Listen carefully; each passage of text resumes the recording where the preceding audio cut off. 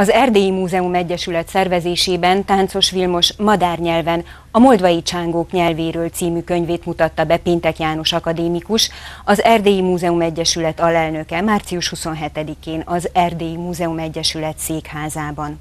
A könyvbemutatón forgattunk, rövid beszámolónk után pedig magával a szerzővel beszélgetek itt a stúdióban. Táncos Vilmos madárnyelven a Moldvai Csángók nyelvéről című könyve egy néprajzkutató reflexiója a moldvai csángók nyelvi identitásának kérdéseire. Táncos kutatóként és szerzőként is kivétel, hiszen nem kötelezte el magát dogmák mellett. Hangzott el az Erdélyi Múzeum Egyesület székházában tartott március 27-i könyvbemutatón. A kiadványt Péntek János akadémikus méltatta, aki maga is magyar dialektológiát, általános etnológiát, valamint szociolingvisztikát oktat. Én annak nagyon örvendek, hogy ez a kötet a moldvai magyarok nyelvi helyzetéről, nyelvállapotáról szól.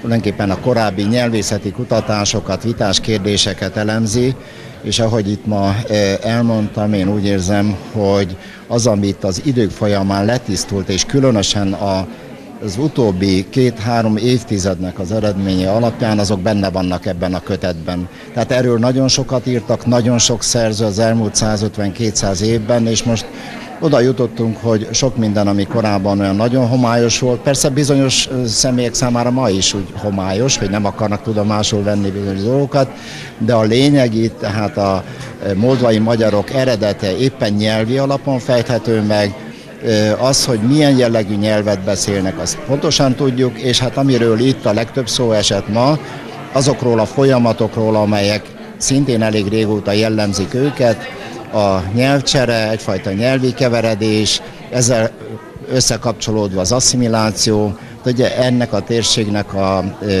erre a magyar népcsoportjára jellemző sajnos. Táncos Vilmos 1980 óta kutatja a magyar csángók identitását.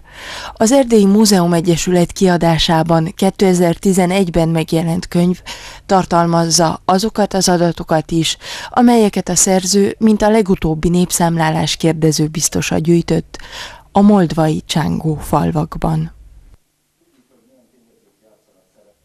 És hát dr. Táncos Vilmos néprajzkutatót köszöntöm a stúdióban, köszönöm, hogy itt van velünk.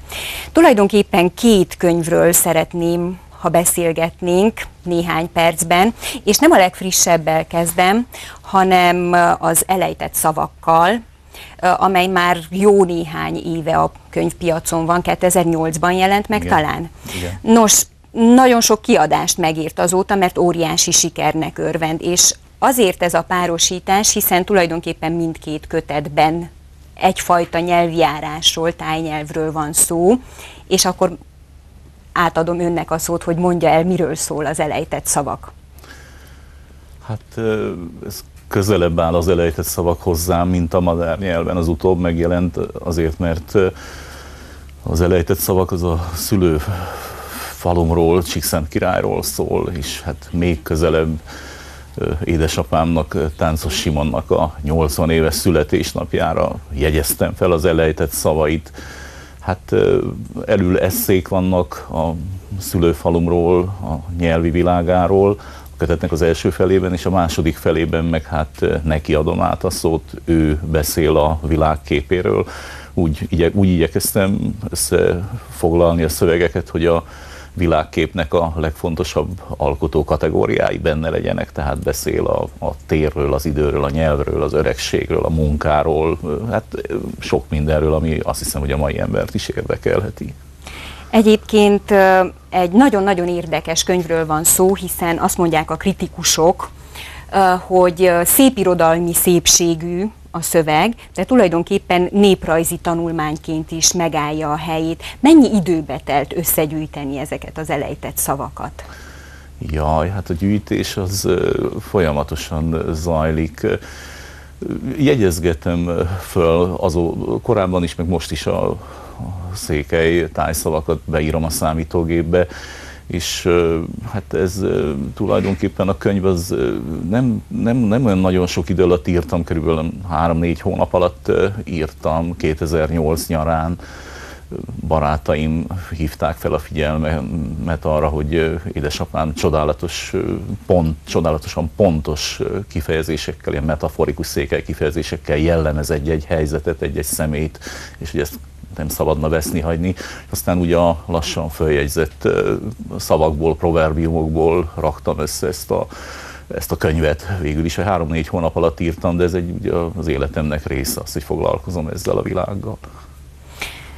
Nos, térjünk át a következő kötetre. Hát ez most már nem szép irodalmi munka, hanem ez e, e, tényleg egy tanulmánykötet, megmutatom a kamerának is. Madárnyelven, a moldvai csángók nyelvéről szól ez a kötet. Mit összegez bennem? Hol hát egy, tart egy most kicsi, a moldvai csángó? Kicsi kapcsolódás nyelv. azért van az előzőhöz, mert ennek a kötetnek is két része van az első az tényleg, hát mondjam azt, hogy tudományos, bár ezt egy kicsit úgy félve mondom ki, mert a nyelvészet igazából nem az én szakterületem, én néprajzos vagyok. Hát igen, Ö, és vallási néprajzi kutatásokat igen, folytatott igen, a tehát, csángók között. Tehát az első része az tényleg a nyelvismeretre vonatkozó, tehát nyelvideológiákra, mai nyelvi helyzetre vonatkozó és hát a, a nyelvi kutatások történetére vonatkozó tanulmányokat tartalmaz a kötet első fele, viszont a második fele az előző kötethez kapcsolódik, mert úgy éreztem a csángó téma kapcsán is, hogy ezeket a száraz adatokat, olykor számokat, meg grafikanok, meg táblázatok, meg sok unalmas dolog van benne, hogy ezeket meg kell világítani valamilyen formában, élő módon is, és hát és ott a második felében azért vannak olyan írások, úgy emlékszem, hogy négy elül, négy hátul, talán nyolc nyolc írásból áll a kötet, négy tanulmány, meg négy néprajzi eszé, amit én eszének nevezek, és hát ezek az előző kötetemhez kapcsolódnak. Hát úgy tettem, hogy írtam például a, a, az Európa Tanács raportőreivel tett moldvai uta, uta, útjaimról, tehát ilyen útleírás formájában, de nem csak útleírás, mondjuk gondolataimat is leírtam, ezért merem úgy néprajzi eszének nevezni. Vagy írtam a magyar órák kérdéséről, a moldvai magyar oktatás kérdéséről is, a csángók székelyföldi erdélyi kapcsolatairól szintén eszé formájában, vagy a kötetet úgy emlékszem, hogy a, a legutóbbi népszámlálás, tehát a 2011. októberi népszámlálás élménybeszámolójával zártam. Tehát nem adatokat tettem itt közzé, hanem szerintem érdekesebb, az adatok fontosabbak, de érdekesebb az a helyzet, ami az adatok mögött van, tehát valahogyan erre a tudati állapotra próbáltam az utolsó, utolsó eszében rávilágítani, hogy, hogy mennyire alkalmazhatók a, modern polgári nemzettudatnak ezek a kategóriák, amit mindannyiunktól kérdeztek, hogy állampolgárság, anyanyelv, nemzetiség, stb. hogyan viszonyul egy olyan népcsoport ezekhez a kategóriákhoz, amelyik tulajdonképpen a, nyelv, a, a, a nemzet előtti állapotból került egy posztmodern Igen, egyébként állapotba. a csángóknál nagyon-nagyon érdekes a kapcsolata a nyelvi és az etnikai identitás között. Teljesen más sorrendben épül le a kettő, hogyha jól tudom. Hát igen, ez a, ez a kulcskérdés, és ez a legnehezebb, legnehezebb kérdése ennek, hogy ugye a mi közösségidentitás tudatunk hangsúlyosan, különösen Erdélyben az erdély magyarságnak a közösségidentitás tudata hangsúlyosan a nyelvhez kapcsolódik és nehezen tudjuk megérteni, hogy ez esetleg más közösségek esetében másként van.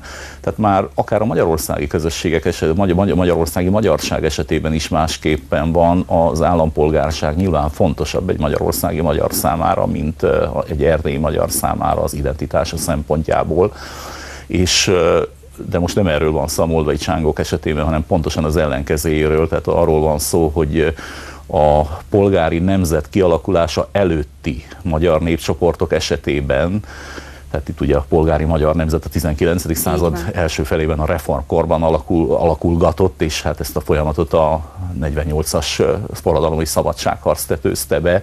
Tehát egy olyan, olyan magyar népcsoport esetében, amelyik, amelyik nem vett részt ebben a folyamatban, egyedül a moldai csángóság ilyen, tehát egy ilyen népcsoport esetében a nyelv nem annyira fontos. Tehát egy, én úgy neveztem, hogy prenacionális identitás, tehát nemzet előtti identitás. Na most ez persze kérdéses a fogalom, hogy helyesen, mert mert a pranacionális után nem következett a nacionális identitás, tehát a nyelvhez kötött magyar identitás. Egyébként van-e konkrét számadat a kötetben arra vonatkozóan, hogy hány csángó beszél magyarul ma? Hogyne, hogyne volna. Hát én kétszer megszámáltam. Hát, előbb, egyenként. hát nem egyenként, nem, nem, nem, nem ezt úgy viccből, de mondom, hogy megszámoltam, mert hát nyilván, hogy nem lehet nem lehet ilyet tenni. Hát azért kellett megszámolni, mert a legellentmondásosabb adatok forogtak közkézen a 90-es években és hát először 90, hát úgy háromban, 93-ban elkezdtem, tehát tulajdonképpen 96-ban fejeztem meg, 97-ben jelentek meg az első idézőjelben népszámlálásomnak az eredményei, becslések voltak, falusoros becslések voltak, és utána megismételtem ugyanezt a, a falujárást, tehát 90, 90 falu, 90 falu körülbelül, 2008-2010-ben ismételtem meg finomabb módszerekkel, tehát arra törekedtem, hogy a nyelvi kompetenciának, tehát a nyelvismeretnek a szintjeit is határozzam meg, tehát hogy hányan vannak azok, akik nagyon jól tudnak, akik esetleg második nyelvként tudnak, de románul jobban tudnak, román az anyanyelvük, vagy hányan vannak, akik csak passzívan ismerik a nyelvet, és hányan vannak azok, akik a teljes nyelvcserén átmentek már és mindezt a négy nyelvi szintet kötöttem generációkhoz is, tehát hogy, hogy melyik generáció, melyik faluban, milyen szinten beszél magyarul. Most ez persze nem úgy történt, hogy egyenként megszámoltam, hanem úgy történt, hogy elég időt töltöttem mindegyik faluban ahhoz, hogy, hogy megbecsüljem a nyelvismeretnek a szintjét. A keretszámokat, tehát az abszolút számokat, hogy hányan vannak egy faluban, meg egy generációhoz hány személy tartozik, ezt a név, hivatalos román népszámlálásnak az adataiból meg lehetett ismerni és ezeket becsültem meg. Na most ezek természetesen becsült adatok, de szerintem reális adatok. Na most, ha a végeredményre kíváncsi, akkor ha erre vonatkozik, egy egyszerű akkor, számra, egy igen. egyszerű számra, a néző kedvéért. Akkor, eh, akkor a, a, az első népszámlálásom alkalmával ha, körülbelül 62 ezer fő volt. Hát ez persze egyel vagy öttel végződött a szám, tehát pontos becslés volt, falvanként pontos az utolsó népszámlálásom az valamivel 50 ezer fő alatt, tehát a városokkal együtt, a nagyvárosok magyarul beszélő lakosságával együtt talán 49 ezer főt becsültem. Ez nehezen fogadta el a magyar közvélemény, mert ugye a népszámlálásaim előtt úgy ragaszkodtunk a mitikus százezres számhoz. Nos, sajnos időnk lejár, tehát mindenkinek, akit érdekel a moldvai csángok nyelvi helyzete és etnikai identitására vonatkozó tanulmánykötet, az annak ajánlom figyelmébe Táncos Vilmos néprajzkutató kötetét. Köszönöm, hogy itt volt a stúdióban. Igen, nagyon szívesen.